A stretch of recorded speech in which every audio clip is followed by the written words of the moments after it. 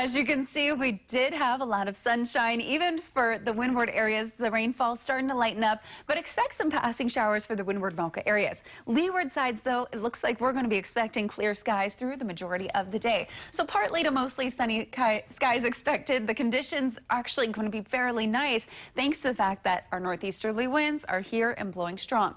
Right now it's 80 degrees. Our winds just clocked in coming in from the northeast at 7 miles an hour. Humidity 74%. So we've already already seen some big improvements uh, starting out the morning to 74% humidity, much more comfortable than what we saw last week. So great news on that front. Winds are picking up. We're expecting winds up to about 20 miles an hour for today. Not seeing those speeds just yet, but we are having a couple of areas seeing the double digit trades. 12 mile an hour winds in Lihue, 13 mile an hour winds in Kahului, 8 for both Molokai and Lanai. So for today, it's looking like we're going to be seeing the humidity levels drop. Unfortunately, the trade winds not going to be sticking around for too long, but the unstable air mass that we did have that was lingering around going to be much more stable today. So enjoy this while we have it. Again, a stable atmosphere, strong trade winds, partly to mostly sunny skies for the leeward sections. Some areas going to be seeing some partly sunny skies for the windward sides as well, but we are expecting the bulk of the cloud cover and rainfall that we do see to be confined over the windward sides.